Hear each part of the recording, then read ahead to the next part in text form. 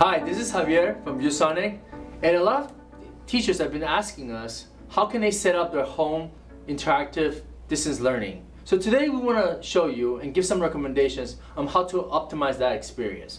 So as you can see behind me, I have my laptop and I have a, I have a touch screen. So on my laptop, I use a video conferencing tool to see all my students. I have my notes on one side. And then on my touch screen, I use myViewBoard for whiteboarding and so I can interact with my students at the same time. All right, I'm gonna show you how to set up the setting. So first thing, I have my external camera, which I'm gonna connect it to my laptop with a USB. Now in this case, my laptop is running on a Windows 10. So I wanna make sure that the USB is connected directly to the laptop. Great.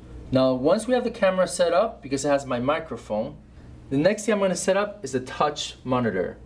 So first thing I want to make sure is that the touch monitor is power on, the power cord is connected. In this case, I'm going to use a USB-C to connect the monitor to my laptop. So once I have the monitor connected to my laptop, I want to set up the screen settings.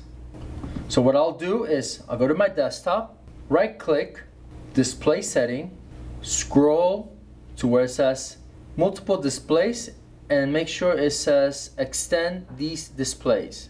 So I'm going to select that one, close it, and now I can drag myViewBoard to my touchscreen and I can begin my lesson.